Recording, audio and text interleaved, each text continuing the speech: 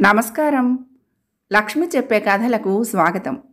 వీణులతో వీక్షించడానికి సిద్ధం కండి.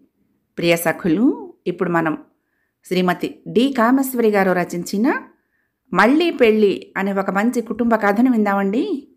ఈ కథ స్వాతి మాసపత్రికలో ప్రచురింపబడింది సఖులు. ఇక కథ మొదలు పెట్టేస్తున్నానండి.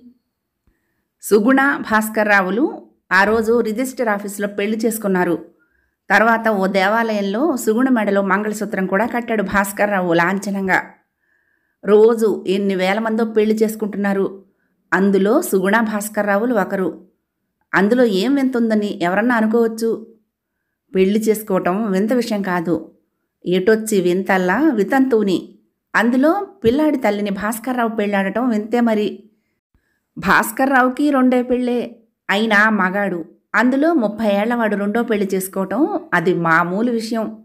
అందుకే భాస్కర్ రావుని పొగడ్తలతో శుభాకాంక్షలతో సహోద్యోగులు మిత్రులు అధికారులు ముంచెత్తారు. అతని సంస్కారాన్ని ఆదర్శాన్ని పొగిడారు. అతని హృదయ వైశాల్యాన్ని కొనియాడారు. భాస్కర్రావు హృదయం గర్వంతో మరింత విశాలమైంది. చాలా మంచి పని ఘనకార్యం సాధించిన తృప్తితో అతని మనసు నిండిపోయింది. ఇంకా సుగుణ స్థితి? ఆమెకు ఇప్పటికీ ఇదంతా నిజం కాదేమో భ్రమేమో అనే అనుమానం. ఈ పెళ్ళి నమ్మశక్యం కాని విషయంలాగే అనిపిస్తుంది. పెళ్ళైన ఎనిమిది నెలలకే కార్ యాక్సిడెంట్లో భర్త పోతే ఇంకెందుకు ఈ బ్రతుకు అనుకుంటూ అందరిలాగే కుళ్ళి కుళ్ళి ఏడ్చింది. దేనిలో నన్న పడి చేద్దామనుకుంది. ధైర్యం చాలకపోవటం కాక తనతో పాటు మరొక ప్రాణిని హత్య చేయటం పాపం అన్న పాప భీతితో ఆ పని చేయలేకపోయింది. తర్వాత పిల్లాడు పుట్టాక వాడి కోసం బ్రతకక తప్పదని నిశ్చయించుకుంది. ప్రాణాలు ఆశలు కలలు అన్నీ ఆ పసికందు మీద పెట్టుకుని నిర్లిప్తంగా రోజులు వెళ్ళదీసాగింది. నా అని చెప్పుకోవటానికి ఒక అన్న మాత్రం ఉన్నా ఆ అన్న మీద జీవితాంతం ఆధారపడి ఉండటం ఇష్టం లేక ఉన్న డిగ్రీ ఆధారంతో ఉద్యోగంలో చేరింది. సహోద్యోగి అయిన భాస్కర్రావుతో పరిచయం. ఏణర్థంలో ఈ విధంగా మలుపు తిరిగి రూపుదాలుస్తుందని సుగుణ ముందుగా ఎన్నడూ అనుకోలేదు. తీరా చేసి రూపుదాల్చాక ఏం చెయ్యాలో తోచని అయోమయంలో పడింది సుగుణ. పరిచయమైన ఏణర్థం తర్వాత భాస్కర్రావు పెళ్ళి చేసుకుందాం అని అడిగినప్పుడు సుగుణ తడబడిపోయింది. భయపడింది బాధపడింది. ముందుగా సహోద్యోగిగా తర్వాత మంచి మిత్రుడిగా ఇంకొన్నాళ్ళ తర్వాత శ్రేయోభిలాషిగా మాత్రం అనుకుంది. భాస్కర్రావుతో పరిచయం పెరుగుతున్న కొద్దీ అంతకు తప్ప మరొక భావం ఆమె మనసులో ఎన్నడూ లేదు. అందుకే కలవరపడిపోయింది భాస్కర్రావు అడగగానే భాస్కర్రావు అయితే సుగుణను చూసిన ముందు రోజు నుంచి ఒకే అభిప్రాయంలో ఉన్నాడు. అందంగా ఉంది అయినంటి పిల్ల. పెళ్ళాడదామనుకున్నాడు ఆమె విధవ అని తెలియక పూర్వం. తీరా ఆ సంగతి తెలిసాక అప్పటికే అతని మనసులో నాటుకుపోయిన కోరికను పీకి పారేయడం అతని వశంలో లేకపోయింది. రెండో పెళ్ళైతేనేం? నాకు మాత్రం రెండో పెళ్ళి కాదా? ఇలాంటి విషయాల్లో పురోగమించాలి అని సర్ది చెప్పుకున్నాడు. పిల్లాడు ఉన్నాడన్న విషయం మీద చాలా రోజులు ఆలోచించాడు భాస్కర్రావు ఆఖరికి ఆ ఉంటేనేం వాడిని వాళ్ళ అమ్మ చూసుకుంటుంది తానేం చేయాలి వాడి పోషణ ఖర్చేగా? వాడి పోషణ ఖర్చు వాడి అమ్మాయి పెట్టుకుంటుంది ఉద్యోగం చేస్తుందిగా తనకేమీ నష్టం ఉండదు అని నచ్చ చెప్పుకున్నాడు. ఈ పెళ్ళిని అభ్యంతరం పెట్టే పెద్దలు తనకెవరూ లేరు. అన్నగారున్నా ఆయన ఈ కాలం వాడే కనుక అభ్యంతరం పెట్టాడు. అసలు కలగ చేసుకోడు తన విషయం. ఇవన్నీ నిశ్చయించుకుని తన ఉద్దేశం సుగుణ ముందు బయటపెట్టాడు. సుగుణ ముందు కాదంది. అలాంటి పని చెయ్యలేనంది. భాస్కర్రావు అనేక విధాల నచ్చజెప్పాడు రోజులు మారాయి మనము మారాలి అన్నాడు. తప్పొప్పుల ప్రసక్తి ఏం లేదని నొక్కి చెప్పాడు. ఆలోచించుకోమన్నాడు. సుగుణం ఒక రోజు కాదు మూడు నెలలు రాత్రింబవళ్ళు ఆలోచించింది. ఈ సమస్య ఎన్నాళ్ళు ఆలోచించినా ఎటూ తేల్చుకోలేని అయోమయంగానే కనపడింది ఆమెకు.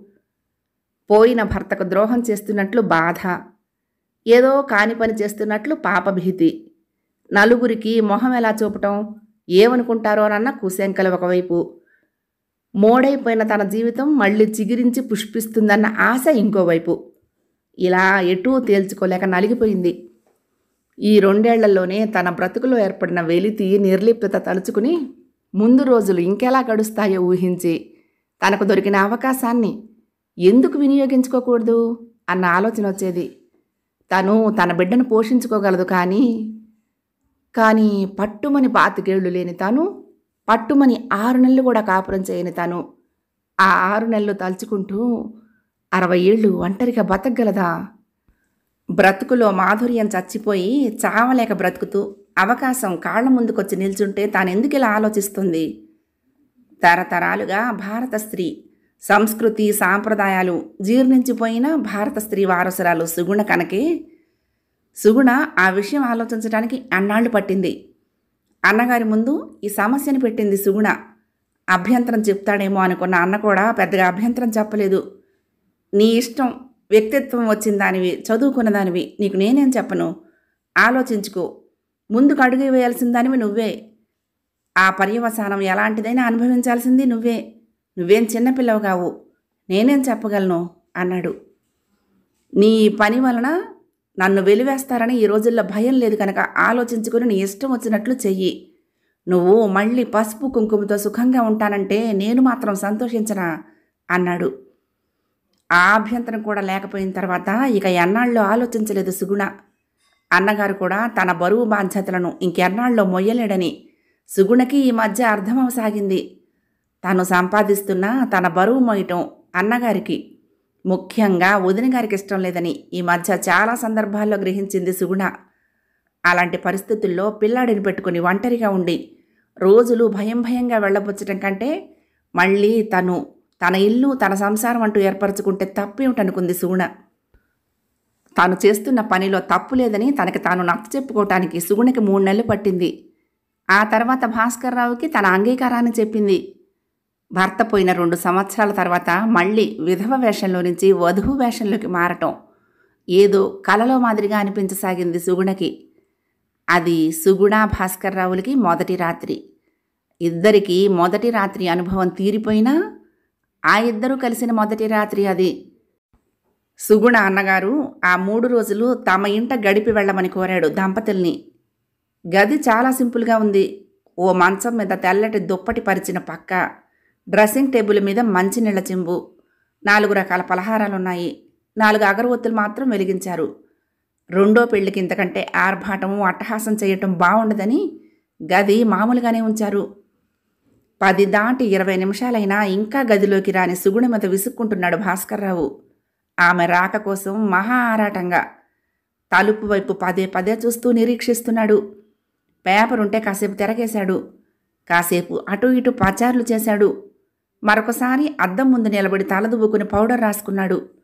ఎన్ని చేసినా సుగుణ రాకపోవటంతో అశాంతిగా పక్క మీద కూర్చున్నాడు. అక్కడ ఇంకో గదిలో పిల్లాన్ని పడుకోబెట్టడానికి సుగుణ నానా తంటాలు పడుతుంది. వెళ్ళవమ్మ సుగుణ అతన్ని ఇందాకనగా గదిలోకి వెళ్ళమన్నాం. బావుండదు.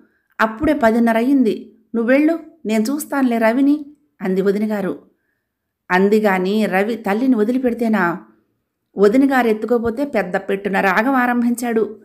మెడ కావలించుకుని వదలకుండా పడుకున్న రవిని తప్పించుకుని ఎలా వెళ్ళటమో సుగుణకి అర్థం కాలేదు. ఎలా వదినా? వీడు నిద్రపోందే ఎలా? ఏడుస్తున్నాడు ఎలా వెళ్ళటం? అంది కాస్త బిడియంగా. రోజు ఈ పాటికే నిద్రపోయే రవి ఇవాళ ఇంతవరకు నిద్రపోకుండా కళ్ళు విచ్చుకుని చూస్తున్నాడు. తల్లి అలంకరించుకోవటం తనని ఒంటరిగా వదిలి ఎక్కడికో వెళ్తుందన్న సంగతి రెండేళ్ళ రవికి అర్థమైపోయింది. అందుకే కాస్త కళ్ళు మూస్తూ తెరుస్తూ పక్కలో తల్లి ఉందో లేదో నన్ను చూసుకుంటూనే ఉన్నాడు. జో కొట్టి బిడ్డ నిద్రపోయాడు అనుకున్న నెమ్మదిగా లేచే వేళకు మళ్ళీ లేచి కూర్చునేవాడు. గంట నుంచే ఈ భాగవతం జరుగుతుంది. బాగుంది ఇవాళ వీడు ఇలా అల్లరి చేస్తున్నాడేంటి? అతను విసుక్కుంటాడో ఏమో. కాసేపు ఏడిస్తే ఏడ్చాళ్ళే నువ్వు వెళ్ళు అంది మళ్ళీ వదినగారు కొడుకు ఇక్కడ ఒంటరిగా ఏడుస్తూ ఉంటే తనక్కడ ఛా ఎలా? ఎలా వదినా? అంది నిస్సహాయంగా సుగుణ. ఇలాంటి పరిస్థితిని ఎలా ఎదుర్కోవటం? సుగుణకి ఓ పక్క సిగ్గు బిడియం. భాస్కర్రావు ఏమనుకుంటాడోనన్న బెదురు. రవి నిద్రపోకుండా ఎలా వెళ్ళటం అన్న ఆలోచనలో ఆమె మనసులో అదో మాదిరిగా తయారైంది. పోనీ వాణ్ణి తీసుకెళ్ళి అక్కడే పడుకోబెట్టుకుంటాను అంది ఆఖరికి సిగ్గు విడిచి సుగుణ పదకొండవ వస్తూ ఉంటే. అతనేమనుకుంటాడో అలా బాగుండదు అంది వదినగారు కాసేపు అలా ఇద్దరు మొహాలు చూసుకుంటూ కూర్చున్నారు. ఈ లోపల నిద్రకి ఇంకా ఆగలేక రవి కళ్ళు మూతలు పడ్డాయి. మరొక ఐదు నిమిషాలు అలాగే చూసి నెమ్మదిగా చడి చప్పుడు కాకుండా లేచింది సుగుణ. అమ్మయ్యా అనుకున్నారిద్దరూ. సుగుణని గదిలోకి పంపి వదినగారు రవి మంచం దగ్గర పక్కేసుకుని పడుకుంది.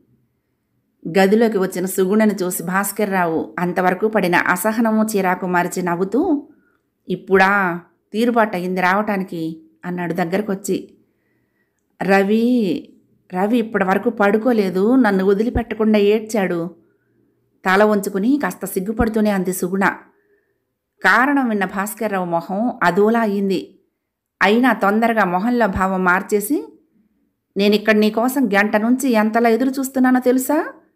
నీకలా ఏం ఆతృత లేదన్నమాట. అక్కడ కూర్చున్నావాలా? అంటూ భుజాల మీద చేతులు వేసి దగ్గరకు తీసుకుపోయాడు. హఠాత్తుగా ఎందుకో సుగుణ త్రుళ్ళి పడింది భాస్కర్రావు స్పర్శకి. ఎందుకో కుంచుకుపోయింది ఆమెకు ఉన్నట్టుండి తన మొదటి రాత్రి గుర్తుకొచ్చింది. మనసంతా ఏదో బాధ నిండింది ఏదో కాని పనికి పాల్పడినట్లు ఆమె హృదయం గిలగిల్లాడింది. సుగుణ ఆ స్థితిలో ఉండగానే గదిలో నుంచి రవి ఏడుపు వినపట్టం మొదలుపెట్టింది. సుగుణ కంగారు పడింది. మళ్ళీ లేచినట్లున్నాడు. ఈ రెండేళ్ళ నుంచి భర్త పోయిన దగ్గర నుంచి వాడి మీదే ప్రాణాలన్నీ పెట్టుకుని అనుక్షణం వాడితోనే గడిపేది. రాత్రిళ్ళు వాడిని పక్కలో పెట్టుకునే పడుకునేది. తన దగ్గర తప్ప విడిగా పడుకోవటం అలవాటు లేని పిల్లాడు తల్లి పక్కలో లేని సంగతి నిద్రలో కూడా గ్రహించి సుగుణ వెళ్ళిన వెంటనే మళ్ళీ లేచి కూర్చున్నాడు. వాడిని సముదాయించటం మళ్ళీ నిద్రపుచ్చటానికి వదినగారు పడే పాటలు అన్నీ సుగుణకు వినిపిస్తూనే ఉన్నాయి. వదినగారు పెరట్లోకి లేచి వెళ్ళింది కాబోలు అక్కడి నుంచి కూడా వాడి ఏడుపు గట్టిగా వినిపిస్తోంది. ఏం చెయ్యాలో తోచనట్లు సుగుణ బెదురుగా చూసింది భాస్కర్రావు వంక. అతను అదేమీ పట్టించుకునే స్థితిలో లేడు. ఐదు నిమిషాలు గడిచినా రవి ఏడుపు అంతకంతకి ఎక్కువ అవుతూ ఉంటే సుగుణ భరించలేకపోయింది. అమ్మా అమ్మా అన్న పసివాడి ఏడుపు ఆమె గుండెలకు తాకి ఉక్కిరి బిక్కిరి చేయసాగింది. అలా పిల్లాడు ఏడుస్తూ ఉంటే తనిక్కడ ఛా! ఆమె హృదయం కొడుకు ఏడుపు విని ఇంకా సహిస్తూ ఉండలేకపోయింది. భాస్కర్రావు చేతుల్లోంచి తప్పించుకుంది. ఏమిటి? అన్నాడు కాస్త ఆశ్చర్యంగా భాస్కర్రావు. బాబు రవి ఇందక్కడి నుంచి ఏడుస్తున్నాడండి అంది గొణుగుతూ. అయితే అన్నాడు కాస్త అసహనంగా భాస్కర్రావు వాళ్ళెవరన్నా చూస్తారులే పడుకోబెడతారులే అన్నాడు మళ్ళీ. నిస్సహాయంగా చూస్తూ వాడి ఏడుపు వింటూ మరి రెండు నిమిషాలు ఆగింది ఇంకా ఆగలేక వస్తాను ఇప్పుడే వస్తాను అంటూ భాస్కర్రావు వారిస్తున్నా వినకుండా అతని చేతుల నుంచి తప్పించుకుంటూ తలుపు తీసుకుని బయటికి వెళ్ళింది. ఊరుకోబెట్టలేక అవస్థపడుతున్న వదిన గారి చేతుల్లో నుంచి పిల్లాన్ని తీసుకుంది. వదిన అంది బేలగా సుగుణ పిల్లవాడిని గుండెలు కదుముకుంటూ అమ్మా అంటూ రవి సుగుణ మెడను గట్టిగా వాటేసుకున్నాడు. సుగుణ కళ్ళల్లో అప్రయత్నంగా నీరు తిరిగింది. అమ్మా నువ్వు నా దగ్గర బొజ్జో అన్నాడు. మాటలు స్పష్టంగా వచ్చిన రెండేళ్ళ రవి. నువ్వు వెళ్ళొద్దు నా దగ్గరే ఉండు అన్నాడు. ఏవిడి సుగుణ ఇలా అల్లరి పెడుతున్నాడు ఇవాళ ఏం చెయ్యటం? అంది వదినగారు విసుగ్గా. ఇవాళ నిన్ను వదిలేటట్టు లేడు ఏం చేస్తావు? అతనేమనుకుంటాడో కర్మ అంది. ఏం చెయ్యను వదిన? ఇలా వీడిని వదిలి నేనక్కడ ఎలా సుఖంగా? సుగుణ గొంతు పట్టుకుంది. పోని వీడిని గదిలోకి తీసుకువెళ్తాను అక్కడే పడుకోబడతాను అంది. మరొక ఐదు నిమిషాలకు కూడా రవి పడుకునే సూచనలు లేకపోవటంతో అది తప్ప మరొక మార్గం ఏమీ లేదని స్పష్టమైంది. సుగుణ మరొక పరుపు పట్టుకెళ్ళి గదిలో వేసి వచ్చింది భాస్కర్రావు సుగుణ వచ్చి పరుపు వేయటం మంచం మీద పడుకుని తీక్షణంగా చూశాడు. సుగుణ అది గ్రహించినా చూపులు తప్పించి రవిని తీసుకొచ్చి తలుపులు వేసింది. ఏమిటిది? వాణ్ణి ఎందుకు తెచ్చావు? అన్నాడు భాస్కర్రావు చిరాగ్గా. ఏం చెయ్యను? నన్ను వదిలి ఎంతకి నిద్రపోవటం లేదు ఏడుస్తున్నాడు అంది శుష్కహాసం చేస్తూ. వాణ్ణి పడుకోబెట్టి జోకొడుతూ బాగుంది కర్కశంగా అన్నాడు భాస్కర్రావు. అంతకంటే కొత్త భార్యను ఇంకేమనాలో అర్థం కాలేదు. అలా తీక్షణంగా కాసేపు చూసి అటు తిరిగి పడుకున్నాడు. అతని ఉత్సాహం ఆతృత ఆరాటం అంతా నీళ్ళు కారిపోసాగింది. అతనికి చాలా కోపంగా అసహనంగా ఉంది.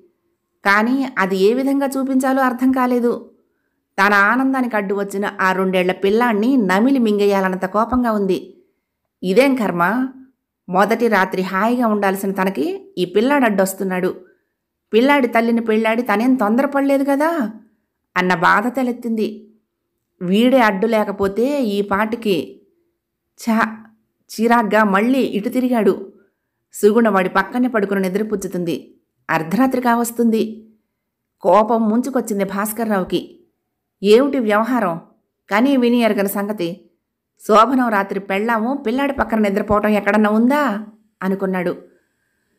అనుభవించు గొప్పగా ఏదో అనుకుని పిల్లాడి తల్లిని పెళ్ళాడితే ఇంతకంటే ఏమవుతుంది? అంది మనసు. ఈ వ్యవహారం ఏదో తేల్చాలి. లేకపోతే రోజు ఇదే వ్యవహారం సాగితే లాభం లేదు. చాలా గట్టిగా మనసులోనే నిశ్చయించుకున్నాడు. సుగుణ మరొక అరగంటకు నిద్రపుచ్చి లేచొచ్చింది. కోపంగా అటు తిరిగి పడుకున్న భాస్కర్రావుని ప్రసన్నం చేసుకోవటానికి భుజం మీద చెయ్యి వేసింది. వెళ్ళు వెళ్ళి అక్కడే పడుకో అన్నాడు చిరాకుగా. కోపగిస్తే ఎలా? నేనేం చెయ్యను? వాడు నిద్రపోకపోతే? అంది నెమ్మదిగా సూణ తెల్ల చీరలో మెరిసిపోతున్న అందమైన భార్య దగ్గరకొచ్చాక ఎంతోసేపు కోపాన్ని చూపలేకపోయాడు భాస్కర్రావు చెయ్యి లాగి కూర్చోబెడుతూ చూడు ఇదేమన్నా బాగుందా నువ్వే చెప్పు అన్నాడు. సుగుణేమంటుంది నాకిదేం నచ్చలేదు. ఎందుకు అలా అలవాటు చేయాలి పిల్లాడికి? రేపటి నుంచి ఇదే వరసైతే నాకు కోపం వస్తుంది సుమా అన్నాడు. సుగుణ జవాబు ఇవ్వలేదు ఆమెకి ఇదంతా ఏమిటోలా ఉంది. ఓ పక్క కొడుకు మరొక పక్క మొగుడు. ఎవరిని కాదంటుంది ఏం చేస్తుంది? ఏమిటి ఇలాంటి అవస్థలో పడ్డాను? అనుకుంది. మొదటి రోజు ఇలా ఉంటే తర్వాత? మాట్లాడవేం? టైం చూశాడు. ఎన్ని గంటలు వృధా అయిందో చూడు. భార్యను దగ్గరికి లాక్కుంటూ నవ్వుతూ అన్నాడు. బలవంతంగా నవ్వింది సుగుణ. భాస్కర్రావు సుగుణ కాపురం పెట్టి పది నెలలవుతోంది ఈ పది నెలలు కొత్తగా పెళ్ళి చేసుకున్న సుగుణకి పది క్షణాల్లాగా కాక పది యుగాలు గడిచినట్లు అనిపించింది. పెళ్ళి చేసుకుంటే జీవితంలో పోగొట్టుకున్న ఆనందం సుఖం లభ్యమవుతాయని ఆశించిన ఆమె ఆశలు కోరికలు తీరకపోగా ఈ పెళ్ళి చేసుకుని పొరపాటు చేశానేమో తప్పు చేశాను పొరపడ్డాను తొందరపడ్డాను అనుకున్న సంఘటనలు సన్నివేశాలు చాలా జరిగాయి ఈ పది నెలల్లో. ఈ పెళ్ళి తనకు సుఖ సంతోషాలు ఇవ్వటం అటుంచి మరిన్ని సమస్యలను తెచ్చిపెడుతుందని సుగుణ ముందు ఎన్నడూ ఊహించలేదు. భాస్కర్రావు ఇలా ప్రవర్తిస్తాడని గాని ఇంతలో మారిపోతాడని ఊహించకపోవటం తనదే పొరపాటు అనిపించింది. తమిద్దరి మధ్య కలతలకి కలహాలకి తన బిడ్డ కారణంగా నిలుస్తాడని ఆ బిడ్డను భర్త అంతలా ద్వేషిస్తాడని శత్రువుల చూస్తాడని అనుకోని సుగుణ. ఏమీ ఎరుగని పసిపిల్లవాడిని అంత హేహ్యంగా చుట్టం సహించలేకపోతుంది. పిల్లవాడి నీడ కూడా భాస్కర్రావు భరించలేకపోతున్నాడని అర్థమయ్యాక ఏం చేయాలో తోచని స్థితిలో గిలగిల్లాడసాగింది ముందు నుంచి కాపరానికి వచ్చిన రోజు నుంచే రవిని ద్వేషిస్తున్నా చాలా రోజులకు కానీ గ్రహించలేకపోయాననుకుంది సుగుణ. మొదటి రోజు బెడ్రూమ్లో రవి పక్క కూడా వేస్తూ ఉంటే వాడి పక్క ఇక్కడెందుకు? పక్క గదిలో వెయ్యి అన్నాడు అదోలా. వాడు అక్కడెలా పడుకుంటాడు? చిన్నపిల్లాడు అంది మామూలుగా సుగుణ. అలాగే అలవాటవుతుంది. మన గదిలో పడుకోబెట్టడం మంచిది కాదు. అలా నాకు ఇష్టం లేదు అన్నాడు కానీ రెండేళ్ళన్న నిండని పసివాడిని మరొక గదిలో ఒంటరిగా పడుకోబెట్టడానికి సుగుణ మనసు అంగీకరించలేదు. మరొక ఏడాదో రెండేళ్ళు పోతే ఎలాగో పడుకోబెడతాము? ఇప్పుడు ఇంకా వాడు చిన్నవాడు వాడొక్కడే ఎలా పడుకుంటాడు? అందులో వాడికి అసలు విడిగా పడుకోవటం అలవాట్లేదు అంది మామూలుగా సుగుణ. భాస్కర్రావు కాసేపు వాదించాడు మొహం ముడుచుకున్నాడు కానీ సుగుణ అంత పట్టించుకోలేదు ఆ విషయం. రాత్రిళ్ళు సుగుణ పడుకోవటానికి రావటంలో ఆలస్యం జరిగిందంటే అదంతా రవి వల్లనే అని భాస్కర్రావుకి కోపం వచ్చేది. వెళ్ళు వెళ్ళు నీ కొడుకు దగ్గర జోలపాటలు పాడుకుంటూ పడుకో అని అలిగేవాడు. అవతల పిల్లాన్ని నిద్రపోచటం తర్వాత భర్త గారిని బ్రతిమాలుకోవటం. అలా అవస్థపడేది సుగుణ.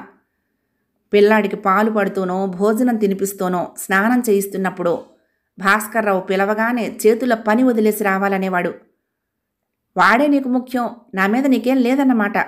ఎంతసేపు వాడి ఆలనా పాలన సరిపోతుంది కానీ నా సంగతి నీకు అక్కర్లేదని మొహం ముడుచుకుంటూ దెప్పేవాడు. పిల్లాడి సంగతి చూడకూడదనా ఏంటి అతని ఉద్దేశం? అని ఆశ్చర్యపడేది సుగుణ. సుగుణ కొడుకుని ముద్దులాడుతూ ఉంటే ఈర్ష్యగా చూసేవాడు భాస్కర్రావు. మరీ పట్టలేనప్పుడైతే? చాలెద్దు ఆ ముద్దులు మహా కొడుకు నీకే ఉన్నట్టు పొంగిపోతున్నావు అనేవాడు నవ్వుతూనే. అంత ముద్దొస్తున్నాడేంటి నీ కొడుకు? ఆ మాటలకు కాస్త నొచ్చుకునేది. తన కొడుకు తనకి ముద్దురాడు పొరపాటును కూడా ఎప్పుడూ భాస్కర్రావు పిల్లాన్ని దగ్గరకు తీసేవాడు కాదు. ఇంట్లో కొన్నాళ్ళ తర్వాత చనువు కొద్దీ రవి దగ్గరకు చేరితే తప్పుకునేవాడు భాస్కర్రావు. సుగుణ చుట్టుపక్కల లేకపోతే పొమ్మన్నట్లు తీక్షణంగా గదమాయించి చూసేవాడు. వాడిని చూస్తూ ఇంట్లో వాడు తిరుగుతూ ఉంటే ఏదో భరించలేని బాధగా ఉండేది. వాడిని చూసినప్పుడల్లా సుగుణ మొదటి భర్త అప్రయత్నంగా గుర్తుకొచ్చేవాడు. తనకంటే ముందు సుగుణ ఇంకొకడిని ప్రేమించిందని సుగుణను తనకంటే ముందు మరొక మగవాడు అనుభవించాడన్న నిజాలు గుర్తుకొచ్చేవి. అసూయ ద్వేషాలతో మండిపడేవాడు భాస్కర్రావు. ఆ అసూయ అక్కసు తీర్చుకోవటానికి అందరికంటే ముందు రవి కనపడేవాడు. వాడిని ఏదో చెయ్యాలని ఉండేది. కానీ ఏం చేయలేకపోయేవాడు కొట్టినా నోరు వచ్చినవాడు తల్లికి చెప్పుకుంటాడు వేధవా అనుకునేవాడు. రోజులు గడుస్తున్న కొద్దీ తనకి సుగుణకి మధ్య అన్నింటికీ ప్రతిబంధకంగా రవి వస్తున్నాడన్నది మరీ భరించరాని విషయంగా తయారయ్యింది. ఆ కోపం సుగుణ మీద తీర్చుకునేవాడు. షికార్కు వెళ్దాం సినిమాకి వెళ్దాం అనేవాడు. సుగుణ రవిని కూడా తీసుకురావటానికి తయారయ్యేసరికి పట్టరాని కోపం వచ్చేది. వీడెందుకు తోకలాగా వీడొద్దు? అనేవాడు. ఎలా అండి ఒక్కడిని వదలటం? అనేది సుగుణ. మీ అన్నయ్య దగ్గర వదిలేయి అనేవాడు భాస్కర్రావు. సుగుణ అలాగేనని అక్కడ వదిలేసరికి మారాన్ చేసి ఏడ్చి రాగాలు పెట్టే కొడుకుని వదిలి వెళ్ళటానికి మనసు వచ్చేది కాదు. తీసుకువెళ్తే ఇంకా భాస్కర్రావు మొహం ముడుచుకొని అసలు మాట్లాడేవాడు కాదు. తీసుకువెళ్ళకపోతే కొడుకు ఏడుపు చూడలేకపోయేది. వదిలేసి వెళ్ళిన ప్రాణాలన్నీ వాడి మీదే ఉండి ఆ సినిమా కూడా చూడలేక అతనితో మాట్లాడలేక అన్యమనస్కంగా ఉండేది. అది చూసి మరింత మండిపడేవాడు భాస్కర్రావు. అలాంటి అవస్థలో నలిగిపోవటం చాలాసార్లు అనుభవం అయింది సుగుణకి. ఎక్కడికన్నా వెళ్ళటానికి బయలుదేరటం అంటేనే ప్రాణ సంకటంగా తయారైంది ఏ పండగలప్పుడన్నా సుగుణకి చీర తెచ్చేవాడు కానీ రవికి తన చేతులతో తను ఏమీ తెచ్చేవాడు కాదు. ఆ విషయం సుగుణ గుర్తు చేసినా విననట్టు ఊరుకునేవాడు అంతగా మరీ అడిగితే నాకు తెలీదు నువ్వెళ్ళి కొనుక్కో అనేవాడు. ఆఖరికి రవి తిండి విషయంలో కూడా భాస్కర్రావు కనపరిచే విభేదం చూస్తే సుగుణకి పట్టరాని కోపం కలిగేది. అన్ని పాలెందుకు? నా జీతంలో సగం వీడి పాలకే అయిపోతుంది అనేవాడు భాస్కర్రావు రవి పాలు తాగుతున్నప్పుడల్లా.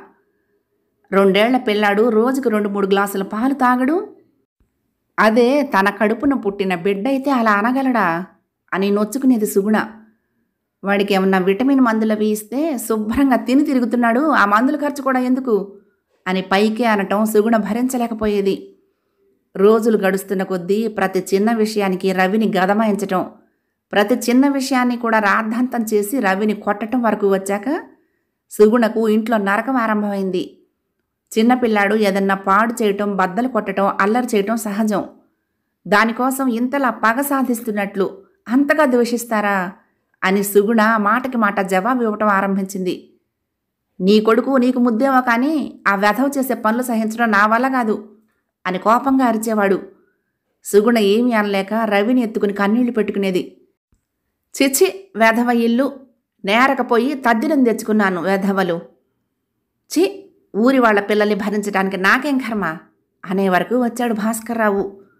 తన సొమ్మంతా ఆ రెండేళ్ళ పిల్లాడు తినిపోతున్నంత దుగ్ధ ఏర్పడింది భాస్కర్రావుకి. రేపొద్దున తనకి పిల్లలు పుడతారు. వాళ్ళతో పాటు ఈ రవిగాడిని ఎందుకు భరించాలి? వాడికి చదువు సంధ్యలు చెప్పించడం తనకేం అవసరం? అసలు ఇంకోడి కన్న పిల్లాడిని ఇంట్లో ఎందుకు పెట్టుకోవాలి? ఈ వెధవ మూలంగానే తనకి ఏ ఆనందము దక్కకుండా ఉంది. ఈ వెధవ మూలంగా తామిద్దరికి మనస్పర్ధలు కలతలు వస్తున్నాయి. ముందు ఇంత దూరం ఆలోచించకుండా తొందరపడ్డాననుకుని పశ్చాత్తాపం ఆరంభమైంది భాస్కర్రావుకి ప్రతిరోజు భార్యాభర్తల మధ్య రవి కారణంగా ఏదో తగవు తప్పటం లేదు. రోజు రోజుకి ఈ గొడవలు భరించటం ఇద్దరికిద్దరికీ కష్టం సాగింది. ఆ కోపం కసి మరొక విధంగా తీర్చుకోవటం కూడా సాగించటం మొదలుపెట్టాడు భాస్కర్రావు సుగుణ కాస్త ఉదాసీనంగా ఉంటే ఏం పాత మొగుడు గుర్తుకొస్తున్నాడా ఏంటి? అనేవాడు. భాస్కర్రావు సరసం మరీ ఎక్కువైన రోజున సుగుణ కాస్త కోపంగా ఏంటా మోటుతనం? అంటే నీ పాత మొగుడు ఇంతకంటే నాజుగ్గా ప్రవర్తించేవాడా? అని దెప్పేవాడు ఇంతకంటే బాగుండేదా నీ ఆ మొగుడి సరసం? అని అసహ్యంగా కూడా మాట్లాడటం ఆరంభించాడు.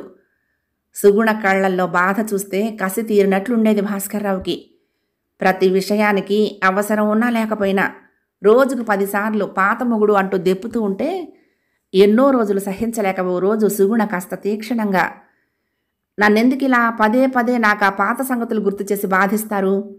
ఆ రోజులు మర్చిపోకుండా ఎందుకు ఇలా గుర్తు చేసి హింసిస్తున్నారు? అంది. ఏం గుర్తు చేస్తే అంత బాధగా ఉందేంటి? పాపం ఆయన్ని ఇంకా మర్చిపోలేకపోతున్నావన్నమాట. ఏ? నాకంటే బాగా చూసేవాడా నిన్ను? అంటూ మరింత వ్యంగ్యంగా విసురులు విసిరేవాడు. రోజు రోజుకి భాస్కర్ రావులో చెలరేగే రాక్షసత్వం క్రూరత్వం పెచ్చు పెరుగుతూ ఉంటే సుగుణకి ఆ ఇంట్లో బ్రతకటం దుర్భరమవసాగింది. కానీ ఏం చేస్తుంది? కావాలని పెళ్ళాడి ఇప్పుడేం చేయగలదు? రోజు ఇద్దరు దేని గురించో వాదించుకోవటం దెబ్బలాడుకోవటం మాటలు విసురుకోవటం తిండి మానేయటం భాస్కర్ రావు ఇల్లు చేరకపోవటం మొదలైన ఘటనలు జరుగుతూ ఉన్నా పెళ్ళి చేసుకున్నాం తప్పదు అని సుగుణ ఓపిగ్గానే ఆ నరకం భరిస్తుంది. కానీ సహనానికి ఓర్పుకి దేనికైనా హద్దుంటుంది. ఆ హద్దు సుగుణ విషయంలో ఆ రోజు దాటిపోయింది. రవికి రెండు రోజుల్లోంచి జ్వరం. ఆ రెండు రోజులు ఏదో మామూలు జ్వరం అన్నట్లు ఏవో తెలిసిన మందులు వాడింది. అయినా తగ్గలేదు మూడో రోజు భయపడుతూనే భాస్కర్రావుతో చెప్పింది. అయితే నన్నేం చేయమంటావు? విసుగ్గా అడిగాడు. ఇదే తండ్రి అయితే ఏం చేయమంటావు అని అడుగుతాడా? అని బాధ కలిగింది సుగుణకి. అయినా అదేం కనిపించనీయకుండా డాక్టర్ని తీసుకుని రండి అంది. భాస్కర్రావు చిరాగ్గా మొహం చిట్లించాడు. నేను వెళ్ళలేను. నువ్వు వెళ్ళి పిలుచుకో లేకపోతే అక్కడికి తీసుకెళ్ళి చూపించుకో అన్నాడు. సుగుణకి ఒళ్ళు మండిపోయింది. పిల్లాడు జ్వరంతో పడుంటే డాక్టర్ని తీసుకురావటానికి కూడా మీకు అంత కష్టంగా ఉందన్నమాట. ఆడదాన్ని నేను వెళ్ళి డాక్టర్ని పిలుచుకురావాలన్నమాట. ఇదే మీ పిల్లాడైతే ఇలా అనేవారా? వాడు మీ కొడుకు కాదని కదూ ఇంత నిర్లక్ష్యం? ఇంత అసహ్యం వాడి మీద? తీక్షణంగా అడిగింది. భాస్కర్రావు ఏం బెదరలేదు ఆ కోపానికి. అవును వాడు నాకేం అవుతాడని నాకుంటుంది ఆదుర్దా. నా కొడుకైతే ఎందుకు ఊరుకుంటాను? ఇదేదో పెద్ద కొత్త సంగతి కనిపెట్టినట్టు మాట్లాడుకు అన్నాడు హేళనగా. సుగుణకి ఉడుకు మొత్తానంతో పాటు దుఃఖం కూడా వచ్చింది. పిల్లాడు రోగంతో పడుకుంటే అలా మాట్లాడతావా? నీకు పిల్లలుండుంటే వీడే మీ పిల్లాడైతే? నేను ఇలా ప్రవర్తించుంటే మీకెలా ఉండేది? ఉక్రోషంగా అంది. హేళనగా నవ్వాడు భాస్కర్రావు. ఎలా ఉండటానికే ఉంది నాకే పిల్లలుంటే సవతి తల్లి ఆ పిల్లల్ని ఎలా చూసేదో వందలు వేలు కథలు విన్నాం. వాళ్ళలో నువ్వు ఒకరి కింద జమై ఉండేదానివి. లేకపోతే ఇంకోరి పిల్లల్ని ఏ ఆడది కానీ మగాడు కానీ సొంత పిల్లల్లా చూస్తారా ఏంటి? అన్నాడు వ్యంగ్యంగా. అవును లోకం ఇన్నాళ్ళు సవతి తల్లుల కథలే వింది. ఆ సవతి తల్లుల కంటే ఈ సవతి తండ్రుల క్రూరత్వం ఏమీ తీసిపోదని మీ కథ రుజువు చేస్తుంది. నన్ను నా మానాన నా కర్మకు పడి ఉండనీయకుండా నాలో లేనిపోని ఆశలు కల్పించి పెద్ద కబుర్లు చెప్పి ఆదర్శమూర్తులు అనిపించుకునేందుకు ఈ పెళ్ళి చేసుకున్నారు. చేసుకున్న దగ్గర నుంచి ఒక్కలా కాల్చుకు తిన్నారు. పెళ్ళికి ముందు నాకు పిల్లాడున్నాడని ఆ పిల్లాడు నాతో ఉంటాడని తెలియక చేసుకున్నారా? తెలిసి తెలిసి చేసుకుని నా బ్రతుకుని ఎందుకు ఇలా నరకం చేస్తున్నారు చెప్పండి. ఈ పెళ్ళి చేసుకుంటే ఏదో సుఖం ఉంటుందని భ్రమిశాను. కానీ ఈ బ్రతుకు ఆ వెధవ బ్రతుకు కంటే అధ్వానంగా ఉంటుందని అంతకు మించిన నరకాన్ని చూస్తానని ముందే తెలిస్తే చస్తే ఈ పెళ్ళి చేసుకునేదాన్ని కాదు. నోరెరగని పసివాడి మీద అంత కసి ద్వేషం ఎందుకు మీకు? వాడేం చేశాడని? వాడిని అలా ద్వేషిస్తున్నారు? వాడు కూర్చుంటే తప్పు నిల్చుంటే తప్పు పడుకుంటే తప్పు. వాడేం చేసినా కోపం. వాడి నీడ చూస్తేనే ద్వేషం. వాడు ఆ పసివాడు ఇంట్లో బిక్కుబిక్కుమంటూ దీనంగా ఏం చేస్తే తప్పు అన్నట్లు భయం భయంగా తిరుగుతూ ఉంటే నా హృదయం ఎంత రంపపుకోత అనుభవిస్తుందో తెలుసా? తల్లి ముందే తన పసిబిడ్డను అంత ద్వేషించటం చూసి ఏ తల్లి అన్నా సహిస్తుందనుకుంటున్నారా? మీరు వాడిని ఎంత హీనంగా చూస్తున్నా ఇన్నాళ్ళు సహించాను. కేవలం మిమ్మల్ని పెళ్ళాడిన నేరానికి. ఆఖరికి పసివాడికి రోగం వస్తే మందిప్పించడానికి కూడా మీకు మనస్కరించటం లేదంటే మీరు మీరు అసలు మనుషులే కాదు. పాషాణం. ఆవేశంతో కోపంతో దుఃఖంతో సుగుణ గొంతు వణికింది. నోరుమై కోపంగా అరిచాడు భాస్కర్రావు. ఈ పెళ్ళి చేసుకుని నష్టపడింది నేను నువ్వు కాదు. బాధపడుతున్నది నేను. తెలియక నేను. ఏదో అనుకున్నాను. తెలిస్తే చస్తే చేసుకునేవాడిని కాదు ఈ పెళ్ళి చేసుకున్నాను. నా సరదాలేం తీర్చావు నువ్వు? సినిమాకి వెళ్దామంటే వాడు అంటావు షికారుకి వెళ్దామంటే వాడు ఉండాలంటావు. హనీమూన్ వెళ్దామంటే వాడిని వదిలి ఎలా అంటావు? ఎప్పుడు సరదాగా కాలక్షేపం చేయటానికన్నా పిలిస్తే ఎంతసేపు నీకు వాడి భోజనం వాడి నిద్ర వాడి ఆలన పాలన తప్ప నా సంగతి ఎప్పుడైనా పట్టిందా? ఎప్పుడు చూడు ఆ వెధవని పట్టుకుని ఏడుస్తూ ఉంటే తను కనని పిల్లాన్ని పట్టుకుని ఏడుస్తూ ఉంటే ఏమాగాడన్నా సహిస్తాడనుకున్నావా? నా సరదా నా ముచ్చట్లు ఏం తీర్చావు నువ్వు? వాణ్ణి అసలు వాణ్ణి చూస్తుంటే నువ్వు నా దానివి కాకముందు మరొకడిని పెళ్ళాడావని వాడి ద్వారా ఈ పిల్లాన్ని కన్నావని నాకంటే ముందు మరొకడు నిన్ను అనుభవించాడని అనుక్షణం వాడి ఉనికి జ్ఞప్తికి తెస్తూ ఉంటే నాకెలా ఉంటుందో నీకేం తెలుస్తుంది? నా మీద కంటే ఆ కుర్ర వెధం మీద ఇంకొకడు పిల్లాడి మీద నీకు శ్రద్ధాశక్తులు ఎక్కువ ఉంటే యువతలి వాడికి ఎలా ఉంటుందో నీకెలా తెలుస్తుంది? భాస్కర్ రావు ఎగిరిపడ్డాడు. అయితే నాకు బిడ్డ ఉన్నాడని మీకు ఇంతకుముందు తెలియదా? ముందు నీకు తెలియనట్టే. నాకు తెలియలేదు కనుకనే గోతులకు దిగాను. లేకపోతే మగాడిని ముప్పై ఏళ్ళున్న మగాడికి పెళ్ళాడటానికి పిల్లలు దొరకరని నిన్ను రెండో పెళ్ళిదాన్ని పిల్లాడి తల్లిని కట్టుకుని ఉండే కర్మ నాకే ఉంది. తెలియకనే మోసపోయాను. ఈ వెధవ పిల్లాడి వలన నీకు నాకు మధ్య అడ్డుగోడలు లేస్తాయని. ఈ కుర్ర వెధవ ఇలా నా ఆనందాన్ని హరిస్తాడని ముందే తెలిస్తేనా? కసిగా అంటున్నాడు భాస్కర్రావు. ఆపండి. మాటి మాటికి వెధవ పిల్లాడు అంటూ ఇష్టం వచ్చినట్టు మాట్లాడకండి. నా ముందే నా పిల్లాడిని ఎంతలేసే మాటలు నోరెరగని పసివాడిని అంటూ ఉంటే ఏ తల్లైనా సహిస్తుంది అనుకుంటున్నారా ఇన్నాళ్ళు సహించాను ఇక సహించను. పౌరుషంగా అంది సుగుణ. సహించకపోతే మానయ్యి నేను ఇదంతా సహించలేను. ఇంకోటి కన్న పిల్లాన్ని ఇంట్లో పెట్టుకుని బాధపడాల్సిన అవసరం నాకేం లేదు. కఠినంగా అన్నాడు భాస్కర్రావు. అంటే ఏంటి మీ ఉద్దేశం? ఆవేశంతో ఎగసి పడుతున్న గుండెలతో అడిగింది సుగుణ. అంటేనా విడమర్చి చెప్తున్నాను విను. ఈ ఇంట్లో నువ్వు ఉండాలని ఉంటే నా దగ్గర వాడు ఉండటానికి వీల్లేదు అన్నాడు. ఏంటి? పిల్లాడు తల్లి దగ్గర ఉండకుండా ఎక్కడుంటాడని మీ ఉద్దేశం? అదంతా నాకు అనవసరం వాడిని ఎక్కడ ఎలా ఉంచుతావో ఏం చేస్తావో నాకు అక్కర్లేదు. కావలిస్తే మీ అన్నయ్య ఇంట్లో ఉంచి డబ్బు పారాయి. సుగుణ కళ్ళు ఎర్రబడ్డాయి. నేను కన్న పిల్లాన్ని పెంచాల్సిన అవసరం మా అన్నయ్యకేమీ లేదు. వ్యంగ్యంగా అంది. అయితే నేను కన్న పిల్లాడిని ఉంచుకోవలసిన అవసరం నాకు అంతకంటే లేదు. హేళనగా అన్నాడు అంతకన్నా భాస్కర్రావు. మీ ఉద్దేశం ఏమిటో స్పష్టంగా చెప్పండి నన్ను ఇంట్లో నుంచి వెళ్ళిపోమని అర్థం? అడిగింది. నిన్ను వెళ్ళమనలేదు. నేను అన్నదల్లా నీకు నేను కావాలో వాడు కావాలో తేల్చుకోమన్నాను. ఆలోచించుకో. సుగుణ ఓ క్షణం ఆవేశంతో ఊగిపోయింది. అంతలోనే నిలదొక్కుంది పిచ్చిదానిలా పెద్ద నవ్వు నవ్వింది హేళనగా వ్యంగ్యంగా. ఓ ఛాయిస్ ఇచ్చారన్నమాట మొగుడా పిల్లాడా అంటూ. భేష్ ఆలోచించాలా? ఈ విషయం గురించి ఆలోచించడానికి ఏ తల్లికి అరక్షణం కూడా పట్టదని మీలాంటి మగాళ్ళకు తెలియకపోవచ్చు. నోరెరగని పసివాడిని అనాథన చేసి మొగుడితో కులుకుతుంది ఆడది అని మీరనుకుని ఛాయిస్ ఇచ్చారా నాకు? నోరెరగని పక్షులు సైతం రెక్కలు రాని తమ బిడ్డల్ని రక్షించుకోవటానికి తమ ప్రాణాలు సైతం అర్పిస్తాయే? అలాంటిది మనిషి హృదయం ఎలాంటిదో తెలియకే ఛాయిస్ ఇచ్చారా నేను కాకపోతే మరొక పెళ్ళం మీకు క్షణంలో వస్తుంది కానీ వీడికి తల్లి రాదు అని తెలియనంత తెలివి తక్కువతనం నాకుందనే ఛాయిస్ ఇచ్చారా మీరు? ఇదే మీ పిల్లాడైతే నేనే మీకు ఈ ఛాయిస్ ఇచ్చి ఉంటే మీరు నన్నే ఎంచుకుని ఉండేవారు నిజంగా. కన్న తండ్రి బిడ్డల్ని అలక్ష్యం చేసి పెళ్ళంత కులకబట్టే సవతి తల్లుల కథలొచ్చాయి. కానీ తల్లి తల్లి ఉండగా బిడ్డ మీద ఈగ వాలనివ్వదు. బిడ్డను రక్షించుకోవటానికి అవసరమైతే రాక్షస అవుతుంది పెంచుకోవటానికి ముష్టన్న ఎత్తగలదు. బిడ్డ కోసం ఏ త్యాగమన్నా ఆఖరికి భర్తనైనా సరే వదులుకోగలదు. తండ్రికి తల్లికి తేడా ఇప్పటికైనా తెలుసుకోండి. ఇప్పటికైనా ఈ నరకంలో నుంచి నా బిడ్డకు విముక్తి కలిగి స్వేచ్ఛగా ఊపిరి పీల్చుకోవటానికి అవకాశం ఇచ్చినందుకు సంతోషం. ఇటొచ్చి ఈ పెళ్ళి చేసుకుని లోకంలో ఇదివరకు ఉండే సానుభూతి కాస్త పోగొట్టుకుని హేళన పాలయ్యాననేదే నా ఆవేదన. ఈ సంగతి ముందు తెలుసుకోలేక తప్పటడుగు వేసి అందరి చేత అనిపించుకునే స్థితికి వచ్చానన్నదే నా బాధ. వస్తా సెలవు అంటూ పిల్లవాడిని తీసుకుని భుజం మీద వేసుకున్న సుగుణని వెర్రివాడిలా చూశాడు భాస్కర్రావు కథ సమాప్తం. ప్రియసఖులు ఈ కథ మీకు నచ్చితే తప్పకుండా లైక్ చేయండి షేర్ చేయండి కామెంట్ చేయండి. సబ్స్క్రైబ్ చేసుకుని నన్ను ఎంకరేజ్ చేయండి. ఉంటానండి. ప్రేమతో లక్ష్మి కృష్ణా తీరం దుర్గమ్మ సన్నిధానం. నమస్తే.